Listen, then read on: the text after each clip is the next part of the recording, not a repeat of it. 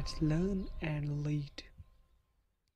Welcome dear students स्वागत है आपका मेरी इस यूट्यूब चैनल मैथ्स विद साक में।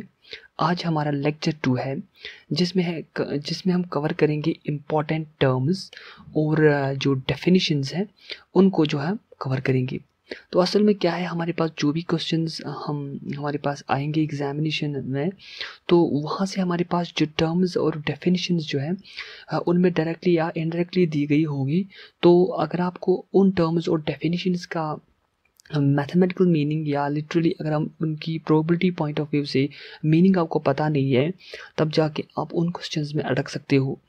ठीक है तो मैंने समझा कि पहले इन्हीं टर्म्स और डेफिनेशंस को कवर करते हैं ताकि आने वाले वीडियो लेक्चर्स में जो है हमारा जो इस प्रोबेबिलिटी का सेक्शन है, वो इसको समझने में जो है हमें आसानी होगी। और ये जो जो टर्म्स और डेफिनेशन फ्रिक्वेंटली यूज़ होती है क्वेश्चंस में तो इन्हीं टर्म्स और डेफिनेशंस को लेके हम इस लेक्चर में हम डिस्कस करने वाले हैं। तो चलिए अब हम इस वीडियो को स्टार्ट करते हैं। लेकिन स्टार्ट करने से पहले अगर आपने अभी तक मेरी इस यूट्यूब चैनल को सब्सक्राइब नहीं किया है तो प्लीज़ इस चैनल को सब्सक्राइब कीजिए और बेल नोटिफिकेशन आइकन पे भी क्लिक कीजिए ताकि आने वाली वीडियो की नोटिफिकेशन आप तक पहले मिल जाए। तो चलिए अब हम इस वीडियो को स्टार्ट करते हैं।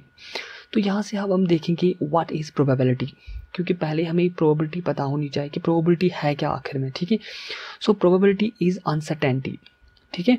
ये वर्ड जो है, आप याद रख लीजिए अनसर्टेनिटी अनसर्टेनिटी मीन्स जिसमें आप श्योर नहीं हो, ठीक है? दैट इज़ द क्वालिटी और स्टेट ऑफ़ बींग प्रोबेबल और the extent to which something is likely likely to happen यानी कि अनसर्टेनिटी है हमारे पास। अनसर्टेनिटी किसको कहते हैं? द क्वालिटी और the state of being probable यानी कि किसी का होना ठीक है? चाहे क्वालिटी हो या स्टेट हो, इसका होना या किस हद तक वो होगा या नहीं होगा, ठीक है? उसको हम प्रोबेबिलिटी कहते हैं। ठीक है? इसमें अनश्योर अनश्योरिटी होती है। फॉर एग्ज़ाम्पल हम बाहर जाते हैं तो कहते हैं कि आज मौसम ख़राब है शायद आज बारिश हो, होगी। तो जो एक शायद वर्ड है ना ये इसमें दर्शाता है कि इसमें कुछ अनसर्टेंटी है। या तो बारिश पड़ सकती है या बारिश नहीं पड़ सकती नहीं पड़ेगी। तो इस अनश्योरिटी वर्ड इस शायद वर्ड को जो है हम प्रोबेबिलिटी में कन्वर्ट करके मैथमेटिकली जो है इसको नंबर्स में कन्वर्ट करेंगे। यानी कि हमें प्रोबेबिलिटी को कैलकुलेट करना है इन टर्म्स ऑफ़ नंबर्स जो कि ज़ीरो और वन के बीच में लाई करता है। प्रोबेबिलिटी हमेशा याद रख लीजिए ज़ीरो और वन के बीच में लाई करती है। इन्हीं दो नंबर्स के बीच में लाई करती है। ज़ीरो का मतलब कि कुछ भी प्रोबेबिलिटी नहीं है।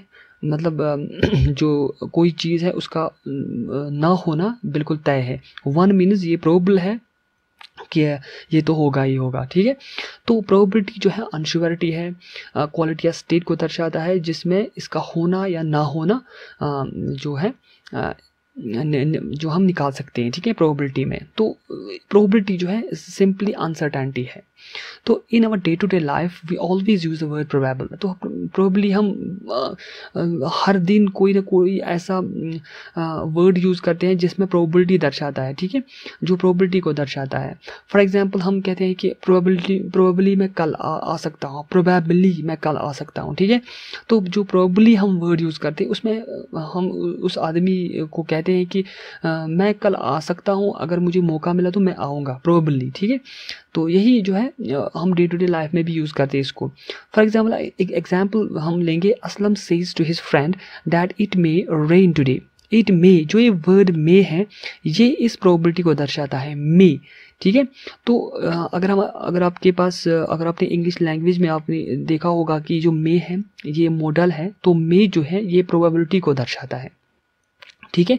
तो ये जो मे है प्रोबेबिलिटी को दर्शाता है, ये दिखाता है कि आज जो है बारिश पड़ सकती है। असलम जो है अपनी फ्रेंड को कहता है कि आज जो है बारिश पड़ सकती है। May it may rain today okay तो यहाँ से क्लियरली जो वर्ड जो मे है, ये इंडिकेट करता है कि चांस को, कि there is a chance to have a rainfall okay so there is a chance to have a rainfall तो बारिश पड़ सकती है, ठीक है? अब एग्ज़ाम्पल टू की तरह देखते हैं। In this we take a dice recall while playing ludo we have a dice ठीक है? या डाई कहते हैं इसको। That gets rolled to get the number number so that और पेन्स कैन मूव तो आपने लड्डू गेम जो है उसको खेला ज़रूर हर एक मो, के मोबाइल फ़ोन में वो आजकल जो है वो ट्रेंडिंग गेम है। तो आपने इसको खेला होगा। तो लड्डू में हम क्या करते हैं? एक हमारे पास एक डाई होता है। ये इसको डाई कहते हैं ठीक है? तो इसमें सिक्स फेसेस होते हैं ठीक है? इसमें सिक्स फेसेस होते हैं। इन सिक्स फेसेस से हमें क्या है? इसमें जो हर एक फेस पे एक अलग अलग नंबर दिया गया है वन टू सिक्स इसमें नंबर दिए गए होते हैं। तो इसी को जो है हम रोल करते हैं, ठीक है? फेंकते हैं। तो वहाँ से जो नंबर आता है तो उतनी स्टेप्स जो है हमारी पिन जो है आगे मूव करती है लड्डू गेम में, ठीक है? So is is it known to us that what number will come to in uh, our turn to move our pin forward? तो क्या हमें पता होते हैं? Uh, जैसे कि फॉर एग्जांपल हमें टू uh, की दरकार है ताकि हमारा जो हमारी जो पिन है वो सेफ़ रह जाए लड्डू गेम में। तो लड्डू गेम में हमारी को टू चाहिए लेकिन आता है थ्री क्योंकि हमारे पास हमें हमें तो पता ही नहीं है ना तो टू आएगा थ्री आएगा फाइव आएगा सिक्स आएगा वन आएगा।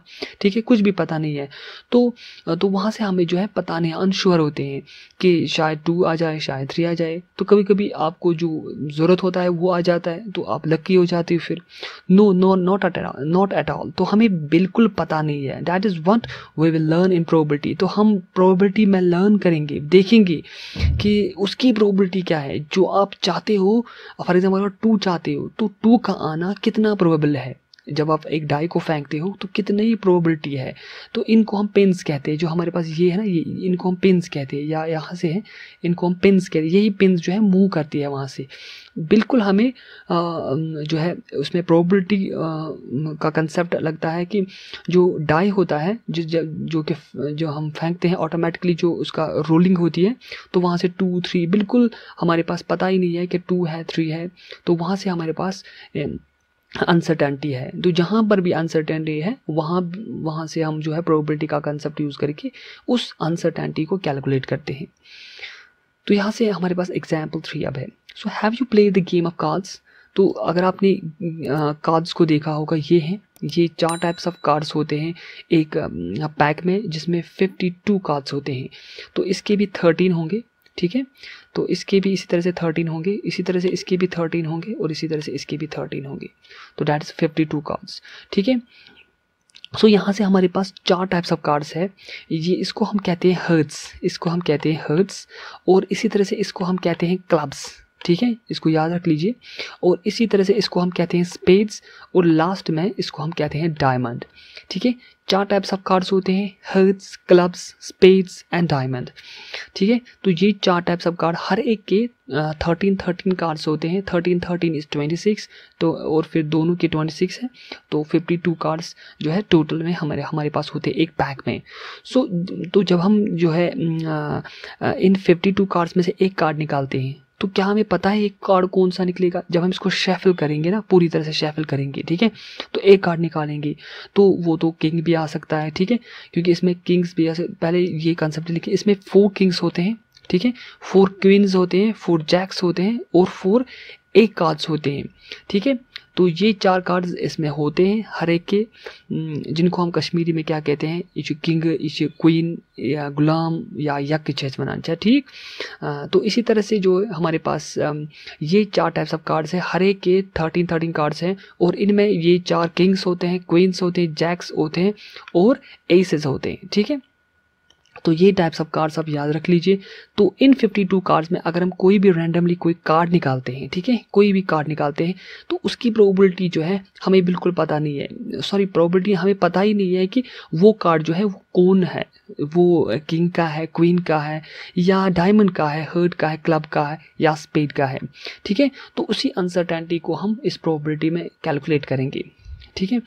अब हम आते हैं नेक्स्ट पे, जब हम डेफिनेशंस जो है, हम अब कवर करेंगे तो एक जो नंबर पे मैंने लिखा है, वो है रैंडम एक्सपेरिमेंट रैंडम एक्सपेरिमेंट अगर आपके पास क्वेश्चन आता है कि कि हमने एक एक्सपेरिमेंट किया जो कि रैंडमली हमने किया तो लिटरली आप इसकी मीनिंग तो निकाल सकते हैं रैंडम एक्सपेरिमेंट रैंडमली आपने किया। ठीक है?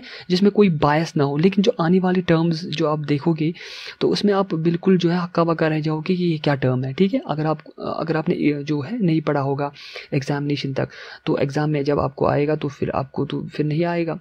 तो यहाँ से आप देख लीजिए रैंडम एक्सपेरिमेंट रैंडम एक्सपेरिमेंट का मतलब कि को, कोई ऐसा एक्सपेरिमेंट जिसमें आपको सर्टेनिटी ना हो ठीक है? That can not be predicted with certainty ठीक है सर्टेनिटी तो इसको हम रैंडम एक्सपेरिमेंट कहते हैं। यानी कि जिसमें कोई बायस ना हो। So throwing an unbiased die जब हम एक डाई को जो रोल करेंगे ठीक है तब वहाँ से जो हमारे पास आए वन आएगा टू आएगा थ्री आएगा बिल्कुल भी पता नहीं होता है ठीक है? फिक्स नहीं होना चाहिए randomly so tossing a fair coin इसी तरह से टॉसिंग ए फेयर कॉइन इसमें हेड आ सकता है या टेल आ जब हम इस कॉइन को टॉस करेंगे तो या तो हेड आ, आ सकता है या तो टेल आ सकता है। ठीक है? रैंडमली फेयरली हमें इसको जो है फेंकना है तो वहाँ से हेड टेल आ सकता है। तो इसी तरह से drawing a card from a well shuffled pack of cards तो एक कार्ड निकालना है शेफल करके एक जो हमारे पास फिफ्टी टू कार्ड्स होते हैं तो उसमें जो है हम इसको शेफल करके एक कार्ड निकालेंगे तो तो वहाँ से जो है, हमें पता नहीं है कि ये कार्ड जो है किस टाइप का होगा। एस होगा किंग होगा क्वीन होगा हर्ट होगा, क्लब होगा, डायमंड होगा, कोई भी, जो जो जो भी इसमें टाइप्स होते हैं उनमें हमें पता ही नहीं होगा ये कार्ड कौन सा है। तो उस एक्सपेरिमेंट को जो है हम रैंडम एक्सपेरिमेंट कहते हैं, जिसमें हमें जो है हम प्रडिक्ट नहीं कर सकते कि ये है इसमें ये आएगा, ठीक है? जब हमने डाई को रूल किया तो जब हम रूल करेंगे फॉर एग्जांपल मैं कहूँगा वन आएगा तो वन ही आएगा। ठीक है, मैं कहूँगा फिर दूसरी बार टू आएगा तो टू ही आएगा, फिर कहूँगा मैं फाइव तो फाइव ही आएगा तो उसको हम रैंडम एक्सपेरिमेंट नहीं कहेंगे तो वो तो फिक्स है ना, ठीक है? एक अनबायस डाई को फेंकना है जिसमें कोई बायस ना हो ऐसी क्वाइन को फेंकना है जिसमें हम प्रोडिक्ट नहीं कर सकते वेदर टेल आएगा या हेड आएगा, ठीक है? तो ऐसी हम दूसरी डेफिनेशन की तरफ़ जाते हैं, वो है सैंपल स्पेस मोस्ट इंपॉर्टेंट इसमें है सैंपल स्पेस तो सैंपल स्पेस क्या है? तो जो भी हम एक्सपेरिमेंट्स करते हैं, ठीक है? फॉर एग्जांपल मैं जो, एक एक्सपेरिमेंट करता हूँ, मैं एक क्वाइन को जो है टॉस करता हूँ। ठीक है?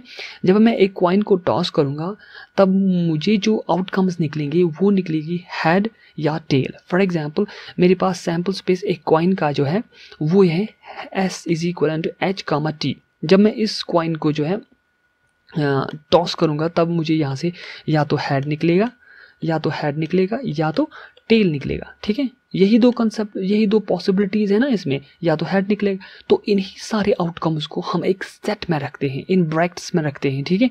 तो इसको हम सैंपल स्पेस कहते हैं और इसको हम डिनोट करते हैं कैपिटल एस से ठीक है? तो capital S mean sample space और सैंपल स्पेस में हम क्या करते हैं? आउटकम्स रखते हैं, ठीक है? जो भी हमारे पास पॉसिबल आउटकम्स हैं इस एक्सपेरिमेंट के तो उनको हम एक जो है, एक सेट में रखते हैं बिटवीन द ब्रैकेट्स ठीक है? अभी आपने सेट नहीं पढ़ा है तो आप ये मान लीजिए कि इनको हम ब्रैकेट्स में रखते हैं, ठीक है? तो इस ब्रैकेटेड जो हमारे पास बनता है, उसको हम सैंपल स्पेस कहते हैं। इस तरह से अगर हम एक डाई को रोल करेंगे, ठीक है? तो ये हमारे पास दो डाइस है। ठीक है? तो अब क्या करेंगे हम? इनको रोल करेंगे। तो यहाँ से हमारे पास जो पॉसिबल आउटकम या तो वन निकलेगा, या तो टू निकलेगा, इसी तरह से या तो थ्री निकलेगा फोर फाइव एंड सिक्स निकलेगा। ठीक है? ये सारे जो है इनके आउटकम्स है। और इन्हीं आउटकम्स को सेट में रख के हमारे पास जो सेट बनता है, उसको हम कहते हैं सैंपल स्पेस ठीक है? बहुत सा आसान कंसेप्ट है इसमें। तो ज़्यादा इसमें दिक्कत की बात नहीं होनी चाहिए। सैंपल स्पेस बस जितनी भी आउटकम्स है उनको सेट में रख लीजिए तो वो हमारे सैंपल स्पेस बनता है। अब हमारे पास तीसरी जो इंपॉर्टेंट टर्म है वो है Sam simple and compound events तो पहले हम इस इवेंट को देखते हैं कि इवेंट क्या है। So an event is a set of outcomes ठीक है? ये भी uh, जो है आउटकम्स का एक सेट है। तो फिर अगर मैंने अभी कहा आपको सैंपल स्पेस इसमें आउटकम्स होते हैं ठीक है? सभी आउटकम्स को हम इकट्ठे करके एक सेट बनाते हैं तो उसको हम सैंपल स्पेस कहते हैं। लेकिन इवेंट जो है, मैं यहाँ से कह रहा हूँ is a set of outcomes of an experiment तो यहाँ से भी ये सैंपल स्पेस जैसा बनता है, लेकिन ऐसा नहीं है। It is a subset of the sample space to which probability is assigned देखो, असल में क्या बात है? असल में ये बात है कि अगर आपके पास फॉर एग्ज़ाम्पल एक क्वाइन है, ठीक है? अब हम इस क्वाइन को टॉस करते हैं तो या तो हमारे पास हेड आ जाएगा, या तो हमारे पास टेल आ जाएगा। अब मैं इस आउटकम जो है, मैं इसको फिक्स करूँगा। मैं कहता हूँ कि कि मुझे टेल निकलना चाहिए। मुझे हेड निकलना चाहिए, ठीक है? जो मैं इसको रिस्ट्रिक्ट करता हूँ ना, इस इवेंट इस जो इस आउटकम को जो मैं रिस्ट्रिक्ट करता हूँ, मैं चाहता हूँ कि बस मुझे जो है हेड आ जाए तो उसकी प्रोबेबिलिटी निकालनी है। तो जब आप ऐसा करते हो, एक पर्टिकुलराइज करते हो चीज़ों को जैसे कि आप डाई फेंकते हो तो आपको इवन नंबर आना चाहिए, ठीक है? तो आप अब इन आउटकम्स को जो, अब क्या करते हो रिस्ट्रिक्ट करते हो इवन नंबर्स के तहत ठीक है? तो वहाँ से आपको आ जाएगा फिर टू फोर एंड सिक्स जो ये सेट बनाएगा, उसको हम कहते हैं, ये एक इवेंट को दर्शाता है, जिसमें इवेंट नंबर्स ही है। तो इवेंट मीन्स ये आउटकम्स होते हैं एक्सपेरिमेंट के, लेकिन रिस्ट्रिक्टेड जो आपके पास आप, अब आप आप डिफाइन करते हो इस इवेंट को पहले। आप कहते हो कि an event having only even numbers when we roll a dice ठीक है? तो यहाँ से आपको पता चला होगा कि इवेंट जो इवेंट और सैंपल स्पेस इस, इसमें डिफरेंस क्या है? इवेंट जो है ये सबसेट होता है सैंपल स्पेस का। कभी कभी ये जो है इक्वल भी होगा सैंपल स्पेस की लेकिन हम कहेंगे मोर इंपॉर्टेंट टर्म जो सबसेट होगा। यानी कि जो भी टर्म्स इवेंट में होंगे जो भी टर्म्स इवेंट में होंगे जो भी आउटकम सॉरी इवेंट में होंगे इवेंट में होंगे वो सभी जो है सैंपल स्पेस में होंगे। ठीक है? उसको हम सबसेट कहते हैं। डेफिनेशन जो है मैथमेटिकल डेफिनेशन ये हम सेट में पढ़ेंगे इस सबसेट क्या है। फ़िलहाल आप ये मान के चलिए कि जो भी टर्म जो है इवेंट में होगी, वो सैंपल स्पेस में ज़रूरी होगी। और जो टर्म सैंपल स्पेस में होगी, वो इवेंट में हो भी सकती है, नहीं भी हो सकती है। ठीक है? तो ये डेफिनेशन है सबसेट की। तो एक इवेंट हम इवेंट को कैसे डिफाइन कर सकते हैं, ये भी आउटकम्स होते हैं, लेकिन रिस्ट्रिक्टेड हम पहले इवेंट को डिफाइन करते हैं कि मुझे इवेंट नंबर चाहिए, मुझे ऑड नंबर चाहिए, मुझे टेल चाहिए, मुझे हेड्स चाहिए, ठीक है? तो या कार्ड्स में हम कहें, मुझे किंग्स चाहिए ठीक है, मुझे क्वींस चाहिए या मुझे डायमंड्स चाहिए। तो रिस्ट्रिक्ट करके आप जो है, जो भी आउटकम्स फिर आपको निकलेंगे, उसको हम इवेंट कहते हैं। तो an event having only a single point अब हमारे पास क्या है? यानी कि जब हम एक एक्सपेरिमेंट करेंगे रैंडम एक्सपेरिमेंट करेंगे तो जो वहाँ से हमारे पास जो सैंपल स्पेस आ जाएगा ठीक है? जो भी हमारे पास जो इवेंट का सेट आ जाएगा, ठीक है? अगर उसमें एक ही टर्म होगी, तब जाके हम इसको कहेंगे सिंपल इवेंट क्या कहेंगे? तब हम इसको कहेंगे सिंपल इवेंट या हम इसको दूसरे नाम भी देते हैं एलिमेंट्री इवेंट इसी तरह से अगर एक से ज़्यादा है, तब जाके हम इसको कहते हैं कंपाउंड इवेंट ठीक है? तो एग्ज़ाम्पल जब हम एक कॉइन को टॉस करते हैं सॉरी टू कॉइन्स को टॉस करें, तब हमारे पास ये देखो, या तो हेड हेड आ जाएगा। जब हम दो कॉइन्स को साइमल्टेन में टॉस करके देख, या तो हेड हेड या तो दोनों को हेड हेड आ जाएगा, या तो एक का हेड आ जाएगा, दूसरे का टेल आ जाएगा, या तो फिर पहले का टेल आ जाएगा, दूसरे का हेड आ जाएगा। या फिर दोनों का जो है टेल आ जाएगा टेल टेल आ जाएगा। यही पॉसिबल आउटकम्स है, ठीक है? ये सैंपल स्पेस है इस रैंडम एक्सपेरिमेंट के। अब हमें इवेंट को देखना है, ठीक है? देखिए अगर हम एक जो जो हमने दो कॉइन्स को टॉस किया तो हम चाहते हैं कि हमारे पास जो जो जो आउटकम्स है, वो हेड्स आना चाहिए। Only getting both the heads तो जो भी इवेंट जो है सॉरी जो आउटकम जो है उसमें दोनों हेड्स होने चाहिए। वो हम देखेंगे। तो जो हमारे पास जो ये इवेंट है, इसको हमने लिखा एच एच यानी कि हेड हेड बस यही तो आ जाएगा, क्योंकि खाली यही एक ऐसी आउटकम है ऐसा आउटकम है, जहाँ से हमारे पास पास दो हेड्स है। इसमें एक हेड है, इसमें भी एक हेड है लेकिन इसमें कोई भी हेड नहीं। तो इन तीनों को हम यहाँ से नहीं ले सकते हैं। तो इसी तरह से हम दूसरी जो कंपाउंड इवेंट ये हमारे पास सिंपल इवेंट बनती है। अब हम कंपाउंड इवेंट की तरह देखते हैं। तो मुझे क्या करना है? मुझे एक ये कहती है कि at at least one head आना चाहिए। एट लीस्ट यानी कि कम अज़ कम आपको एक हेड आना चाहिए। अब देखिए, कम अज़ कम, यानी कि इसमें हमारे पास दो है लेकिन हमें चाहिए कम अज़ कम एक। यानी कि ये आएगा, अब इसमें भी एक है तो ये भी आएगा। कम अज़ कम एक होना चाहिए, ठीक है? अगर दो भी है तो ठीक है। तो इसमें भी जो है हमारे, लेकिन ये जो इसमें टेल है और ये नहीं आएगा, ठीक है? तो तीन इसमें आ जाएँगे तो जो मैंने यहाँ से लिखा है head head head tail and tail head तो इसमें एक से ज़्यादा जो है आउटकम्स हैं तो इसको हम कंपाउंड इवेंट कहते हैं। तो यहाँ से हमारे पास इक्वली लाइकली इवेंट्स हैं, ठीक है? तो इक्वली लाइकली इवेंट्स किन को कहते हैं? जिनमें हमारे पास प्रोबेबिलिटी जो है, जो सेम होगी, ठीक है? The given events are said to be equally likely events if each of them if each of them have same mathematical probability यानी कि दोनों की प्रोबेबिलिटी सेम होनी चाहिए इक्वली लाइकली यानी कि जिनके चांसेस जो है, वो सेम होने चाहिए, ठीक है? अब देखिए, जब हम एक अनबायस्ड कॉइन को टॉस करते हैं तो वहाँ से हेड या टेल का आना इक्वली लाइकली इवेंट्स है, ठीक है? क्योंकि जब हम कॉइन को टॉस करते हैं, तब वहाँ से हेड की जो प्रोबेबिलिटी है, वो हाफ़ होती है और टेल की जो प्रोबेबिलिटी वो भी हाफ़ होती है। यानी कि इक्वली जो है इनकी प्रोबेबिलिटी होनी चाहिए। तो इन इवेंट्स को हम क्या कहते हैं? इक्वली लाइकली इवेंट्स तो यहाँ से अब इवेंट्स की जो है टर्म्स हम देखेंगे इसीलिए मैंने इवेंट्स को इतनी अच्छी तरह से समझाया आपको कि इवेंट क्या है। वो एक सबसेट होता है सैंपल स्पेस का। तो लेकिन हम रिस्ट्रिक्ट करते हैं अकॉर्डिंग टू आवर जो हमने डिफाइन की होगी इस इवेंट को। तो इसी तरह से इसमें जो है आउटकम्स आते हैं फिर।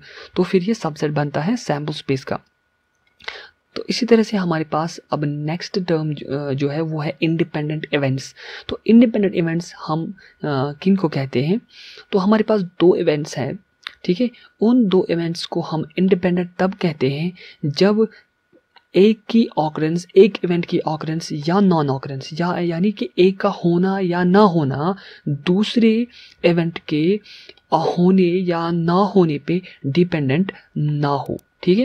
यानी कि दो इवेंट्स है आपके पास, एक को आप परफॉर्म करते हो तो उस इवेंट पर उस इवेंट से दूसरे इवेंट पर कोई फ़र्क नहीं पड़ता है। चाहे पहली इवेंट हो या ना हो, उससे दूसरी इवेंट से लेना देना नहीं है।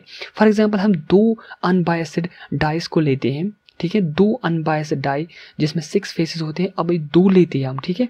और हम क्या करते हैं? हम इवेंट्स को चूज़ करते हैं। अब मैंने क्या कहा कि मुझे चाहिए ऑड नंबर मुझे चाहिए ऑड नंबर मुझे ऑड नंबर चाहिए फ़र्स्ट डाई पे, ठीक है? इसी तरह से मुझे सेकंड इवेंट मैंने कहा कि मुझे इवन नंबर चाहिए सेकंड डाई पे, ठीक है? तो जो ये दो डाइसेस हैं, मैं इनको रैंडमली जो है फेंक रहा हूँ, ठीक है? रोल कर रहा हूँ दोनों डाइस को साइमल्टेनियसली तो मुझे इवेंट्स क्या चाहिए? पहले में मुझे चाहिए ऑड नंबर दूसरे में मुझे चाहिए इवन नंबर तो जब मैं इनको फेंकूँगा ना तो पहले में अगर फॉर एग्जांपल मुझे टू मिलता है ठीक है?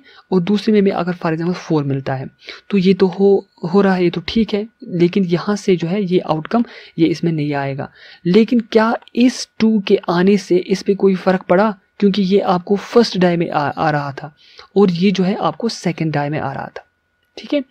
तो ये बिल्कुल जो है आप याद रख लीजिए कि हमने दो डाइज को जो है फेंक दिया था रोल किया था एक में हमारे पास टू आया था जो कि इवन जो कि इवन नंबर है, ठीक है? तो यहाँ से हमारे पास फ़र्स्ट इवेंट थी ऑड नंबर ठीक है? तो ये नहीं है, लेकिन ये जो है ये ये जो है बिल्कुल इसमें आएगा। तो इसका होना या ना होना इस पे डिपेंडेंट ही नहीं है, क्योंकि ये अलग डाय है और ये अलग डाय है, ठीक है? तो इनको हम इंडिपेंडेंट इवेंट्स कहते हैं। अब डिपेंडेंट क्या है, ठीक है? इसी तरह से इसमें जो है ये जो दो इवेंट्स है, ये इंडिपेंडेंट है, क्योंकि दो डाइज जो है दो डाइज जो है, एक में इवन नंबर आ रहा है, दूसरे में ऑड नंबर आ रहा है, या दूसरे में, दोनों में ऑड नंबर आ रहा है, या दोनों में इवन नंबर आता है, या पहले में जो है ऑड नंबर दूसरे में इवन इवन नंबर आता है। तो क्योंकि डाइसिस जो है, जो हमारे पास जो, दो डाइस जो है, वो अलग अलग है तो वो एक या दूसरे पे कोई फ़र्क ही नहीं पड़ेगा ना उससे। तो इसी तरीके से जो हमारे पास जो दो इवेंट्स है, वो हमारे पास इंडिपेंडेंट इवेंट्स बनते हैं। बात को समझो, ठीक है? अब हमारे पास है डिपेंडेंट इवेंट अब डिपेंडेंट इवेंट क्या है? जिसमें डिपेंडेंसी हो. अगर हमारे पास कार्ड है, इसमें कार्ड्स में कितने होते हैं? फिफ्टी टू कार्ड्स होते हैं. अब जब मैं इन कार्ड्स में से एक कार्ड निकालूं, ठीक है? ठीक है? जब मैं एक कार्ड निकालूं तो वो फॉर एग्ज़ाम्पल कोई कोई भी type of card for example वो डायमंड का है, ठीक है? डी मैंने लिखा डायमंड्स का। अब मुझे क्या करना है? मुझे दूसरी एक एक्सपेरिमेंट इसमें एक दूसरा दूसरा कार्ड निकालना है। तो क्या उस दूसरे कार्ड के निकालने से मुझे कोई फ़र्क पड़ता है? यानी कि मैंने पहले ही इसमें एक कार्ड निकाला था, ठीक है? अब मेरे पास कितने कार्ड्स है? फिफ्टी वन कार्ड्स है। अब मुझे कम में से पहले मुझे 52 कार्ड्स थे, अब मुझे 51 कार्ड्स है, ठीक है? अब मुझे 51 में से एक और कार्ड निकालना है। तो वहाँ से जो हमारे पास कार्ड निकलेगा फॉर एग्ज़ाम्पल मैं एक कार्ड निकालूँ तो वो वो हमारे पास फॉर एग्ज़ाम्पल जो है स्पेड का निकलता है, ठीक है? स्पेड का निकलता है। अब इसी तरह से जब मैं तीसरा इसमें निकालूँ तो वहाँ से हमारे पास अब फिफ्टी कार्ड्स बच गए, ठीक है? अब इसमें मैं तीसरा कार्ड जब निकालूं तो वो फॉर एग्ज़ाम्पल मुझे फिर से मुझे डायमंड का आ गया, ठीक है? तो क्या इसमें फ़र्क पड़ती है? हाँ फ़र्क पड़ती है, क्योंकि मैं एक एक कार्ड निकालता हूँ और कार्ड जो है कम होते जा रहे हैं, ठीक है? अब कार्ड जब मैं निकालता हूँ, उसकी प्रोबेबिलिटी जो है, उसकी प्रोबेबिलिटी पे असर पड़ेगा, क्योंकि मैंने पहले एक कार्ड को out of fifty two cards निकाला था, एक कार्ड को out of fifty two cards निकाला। दूसरा कार्ड मैंने out of fifty one cards निकाला था तो तीसरा जो है मैंने आउट ऑफ़ फिफ्टी कार्ड्स निकाला था। तो उस हिसाब से ये डिपेंडेंट है, ठीक है? क्योंकि हमारे पास पहले फिफ्टी टू कार्ड्स है, अब फिफ्टी वन है, अब फिफ्टी है तो इसकी प्रोबेबिलिटी पे असर पड़ेगा, ठीक है? क्योंकि मुझे एक card out of fifty two cards निकालना है तो इसकी प्रोबेबिलिटी हो जाएगी वन अपॉन फिफ्टी टू अब दूसरी की हो जाएगी वन अपॉन फिफ्टी वन और तीसरी की हो जाएगी वन अपॉन फिफ्टी ठीक है? इनको छोड़ के, इन डायमंड स्पेड को जो है, छोड़ के. तो मैं बस ये कह रहा हूँ कि एक कार्ड को निकालना क्योंकि यहाँ से फिर कंसेप्ट डिफरेंट हो जाएगा.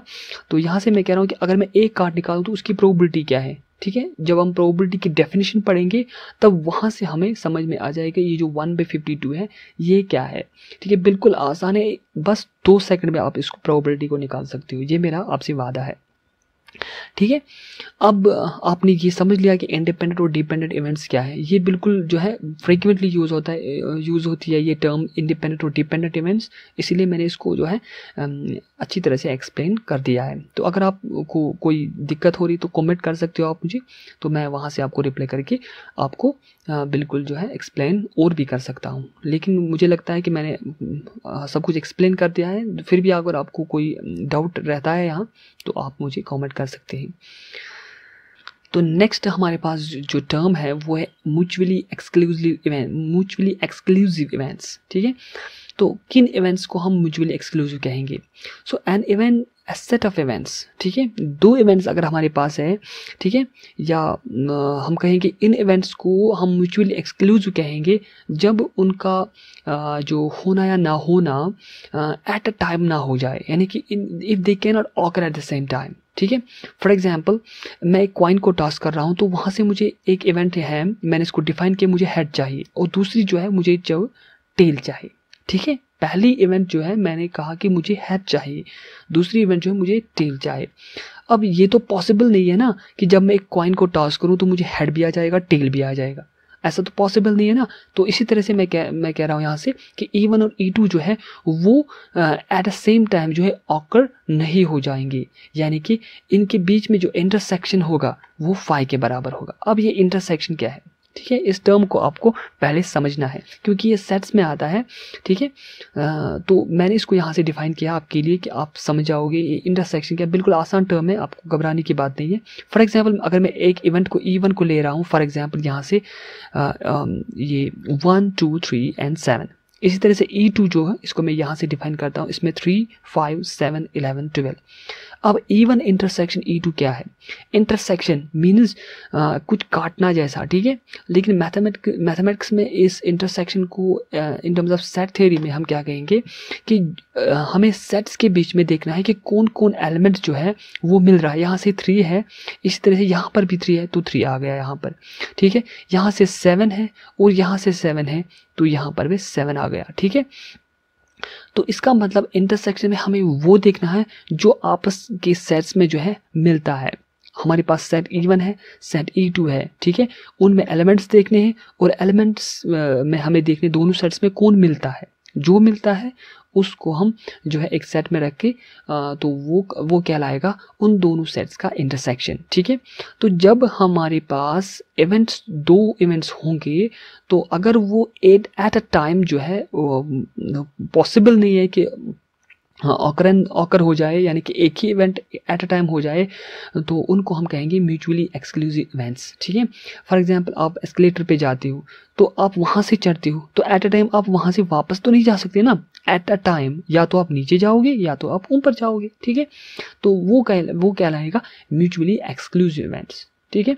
यानी कि फॉर एग्ज़ाम्पल फॉर एग्ज़ाम्पल आप क्या कर रहे हो? आप गाड़ी में जा रहे हो तो आप फॉर एग्जांपल डिस्ट्रिक्ट वन से डिस्ट्रिक्ट टू जा रहे हो तो एट अ टाइम जो है आप डिस्ट्रिक्ट वन से डिस्ट्रिक्ट टू तक, या डिस्ट्रिक्ट वन से डिस्ट्रिक्ट थ्री तक नहीं जा सकते ना?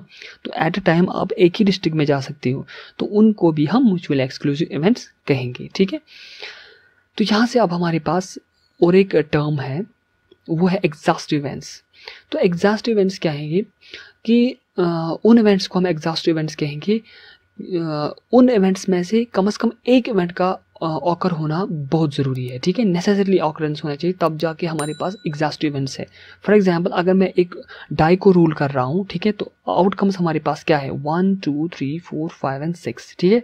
अब तो ये ये तो आपको याद रहा होगा कि जब हम डाई को रूल कर रहे हैं तो इतना आउटकम है। यही मेरा जो है इसमें मोटिव था कि आपको पहले इस कुछ कुछ मैथमेटिकली आपको जो कुछ मिल जाए, ताकि आप थर्ड लेक्चर की तरह से जब आप जाओगे तो वहाँ से आपको एक एक फाउंडेशन मिल जाए, फिर आपको आसानी हो जाएगी दूसरे कंसेप्ट को समझने की, ठीक है? तो यही मेरा टारगेट है। आप पहले इस वीडियो को है, पूरा देख लीजिए, फिर आप लेक्चर थ्री की तरह देख देखें तो वो आपको बिल्कुल समझ में आ जाएगा फिर। तो जब हम हमने इस डाई को रूल किया, तब वहाँ से हमारे पास जो आउटकम्स है, वो है ये one two three four five six तो हम इवेंट्स को अब लेंगे, क्योंकि हमें इवेंट्स को लेना है, उन्हीं इवेंट्स को देखना है। तो यहाँ से इवेंट्स जो हमारे पास है, मैंने कहा कि मुझे इवन नंबर चाहिए। तो इवन नंबर मुझे है टू फोर एंड सिक्स ठीक है? तो ये इवेंट्स है इसकी। अब इसी तरह से ई टू जो है, वो दूसरी इवेंट है, इसमें कह रहा हूँ कि मुझे ऑड नंबर चाहिए।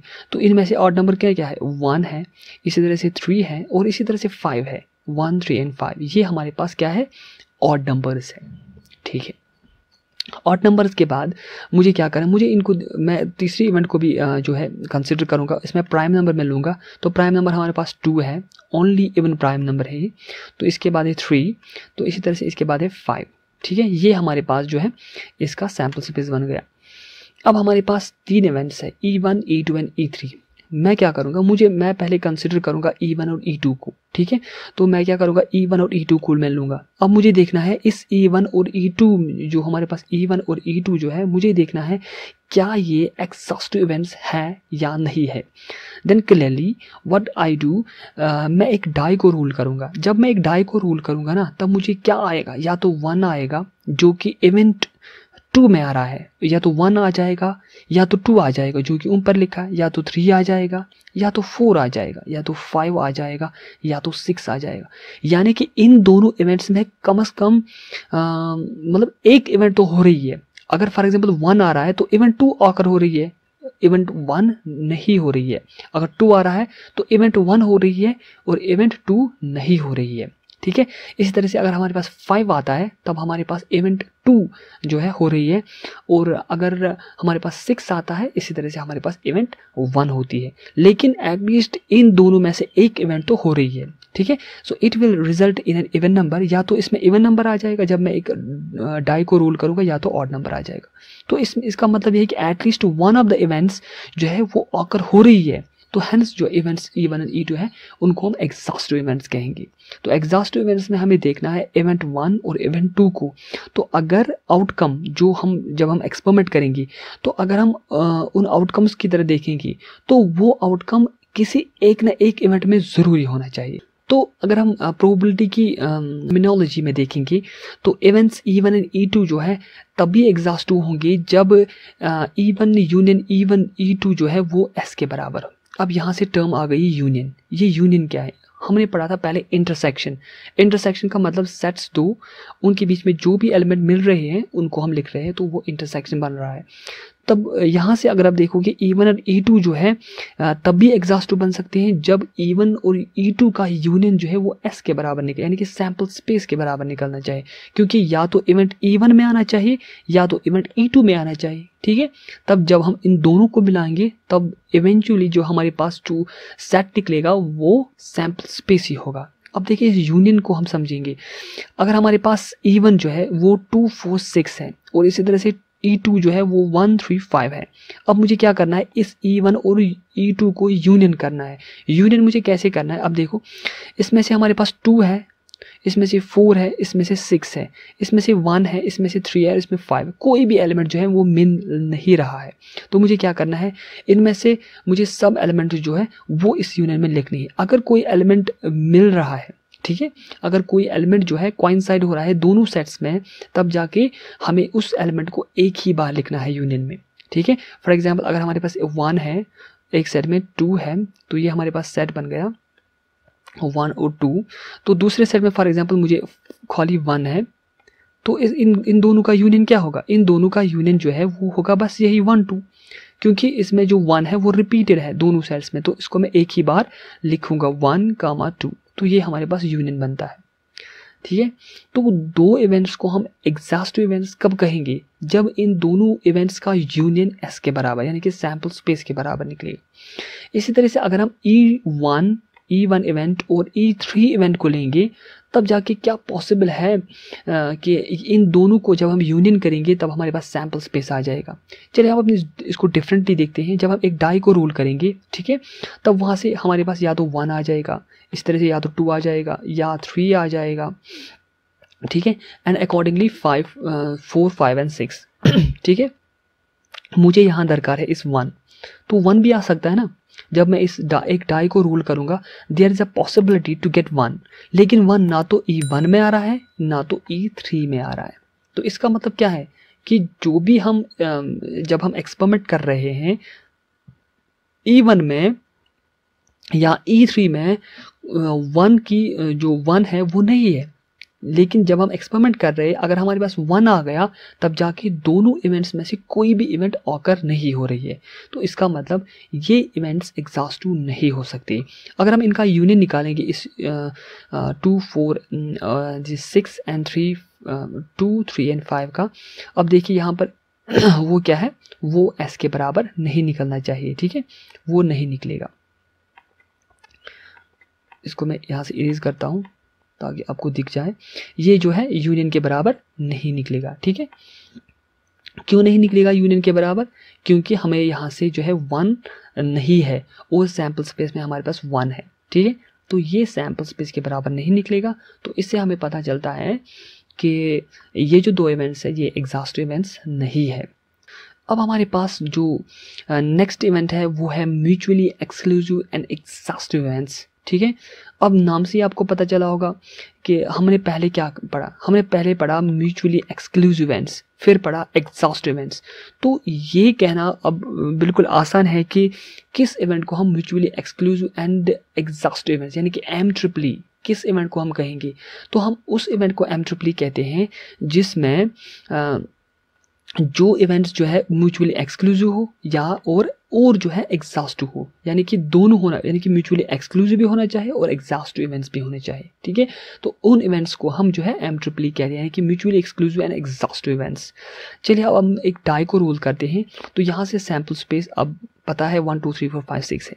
एक डाई को रोल करते हैं तो यही पॉसिबल सैंपल स्पेस है। तो जब हम क्या, अब अब हम क्या करेंगे? अब हम इवेंट्स को लेंगे। तो मैं इवेंट को ले रहा हूँ even obtaining an even number ठीक है? जैसे कि इससे पहले मैंने लिया था तो टू फोर सिक्स अब देखिए, यहाँ से मैंने ऑड नंबर लिया वन थ्री एंड फाइव ठीक है? ये दो इवेंट्स हमारे पास हैं। अब इसी तरह से तीसरी इवेंट जो है प्राइम नंबर की टू थ्री एंड फाइव बिल्कुल सेम जैसे कि मैंने पिछली जो जो टर्म की थी, उसको इसके एक्सप्लेनेशन में मैंने बिल्कुल यही टर्म्स जो इवेंट्स जो है, वो ये ली थी। अब हम क्या देखेंगे? तो अगर आप ई e वन और ई e टू को देखोगे तो it follows immediately that E one union E two अगर हम इनका यूनियन निकालेंगे तो वो टू फोर सिक्स जो ई e वन है और जो ई टू है, वो वन थ्री फाइव है। तो इनका यूनियन तो पहले आ जाएगा वन ठीक है, फिर आ जाएगा टू फिर आ जाएगा थ्री फिर आ जाएगा फोर इस तरीके फिर आ जाएगा फाइव और फिर आ जाएगा सिक्स ठीक है? कोई भी मैच नहीं हो रहा है, जिसको हमें एक बार ही लिखना है तो बिल्कुल डिस्टिंक्ट एलिमेंट्स है तो हमें इनको इस सेट में लिख के ईवन यूनियन जो है, वो सैंपल स्पेस के बराबर निकलेगा, ठीक है? इसी तरीके से अगर हम इनका इंटरसेक्शन निकालेंगे E one intersection E two जो है, अगर हम इनका, क्योंकि इन, इनके बीच में कोई भी ऐसा एलिमेंट जो है, वो नहीं मिल रहा है, क्योंकि यहाँ पर टू है तो दूसरे सेट में टू नहीं है। यहाँ फोर है, दूसरे सेट में फोर नहीं है तो तीसरे में सिक्स तीसरा हमारे पास सिक्स है, और यहाँ पर सिक्स नहीं है। यानी कि कुछ भी नहीं मिल रहा है। एम्पटी सेट है, ठीक है? जिसको हम फाई कहते हैं, यानी कि फाई का मतलब कुछ भी नहीं है इसमें। तो इन इवेंट्स को हम क्या कहेंगे? म्यूचुअली एक्सक्लूसिव एग्जॉस्ट इवेंट्स क्यों? हमने इसका यूनियन और इंटरसेक्शन क्यों निकाला? हमने उसको उस अंदाज से क्यों नहीं देखा? लेकिन देखिए, हमने म्यूचुअली एक्सक्लूसिव एग्जॉस्ट इवेंट्स पढ़े। पहले हमने म्यूचुअली एक्सक्लूसिव पढ़ा तो हमने वहाँ से देखा कि जो इंटरसेक्शन है वो फाइव होना चाहिए। फिर इसके बाद हमने एग्जॉस्टिव इवेंट्स को देखा। तो उसमें हमने देखा कि यूनियन जो है वो सैंपल स्पेस के बराबर निकलना चाहिए। ठीक है? अब हम जब इन दोनों को मिला रहे हैं, तब जाके हमारे पास कंसेप्ट क्या है? कि यूनियन और इंटरसेक्शन यूनियन में सैंपल स्पेस के बराबर निकलना चाहिए और ये जो इंटरसेक्शन है, ये फाइव के बराबर निकलना चाहिए। ठीक है? याद रख लीजिए इसको फिर से। इवन यूनियन यानी कि इवेंट्स का यूनियन जो है वो सैंपल स्पेस के बराबर और इंटरसेक्शन जो है वो फाइव के बराबर निकलना चाहिए। तो इसका मतलब कि अगर हमारे पास दो इवेंट्स हैं, हम इनको तभी एम ट्रिपली कहेंगे जब इनका यूनियन सैंपल स्पेस के बराबर निकलना चाहिए whole of the sample space और इनका इंटरसेक्शन जो है वो एम्पटी के बराबर होना चाहिए। ठीक है? तो ये हमारे पास है म्यूचुअली एक्सक्लूसिव एग्जॉस्टिव इवेंट्स ठीक है? तो ये था हमारा आज का वीडियो। लेक्चर टू में हमने इंपॉर्टेंट टर्म्स और डेफिनेशंस को जो है कंसिडर किया। मैं उम्मीद करता हूँ आपको ये वीडियो बहुत पसंद आया होगा। तो इसके बाद जो लेक्चर थ्री है वो भी जल्दी अपलोड हो जाएगा। तो अगर आपको लगता है कि इस वीडियो से आपको कुछ फ़ायदा हो तो प्लीज़ इस चैनल को सब्सक्राइब कीजिए, मेरी इस वीडियो को शेयर कीजिए अपने दोस्तों के साथ, ताकि वो भी जो है इसका फ़ायदा उठा सके, क्योंकि दूसरे को हेल्प करना, अपने आप को ही हेल्प करना है। तो और आप इस वीडियो को जो है लाइक करना बिल्कुल ही मत भूलिए, ठीक है? तो चलिए अब हम लेक्चर थ्री में फिर से मिलते हैं, तब तक के लिए अपना ख्याल रखिए, खुश रहे Hope to see you again guys. Thanks for watching this video. Hit, subscribe, share and like. Goodbye.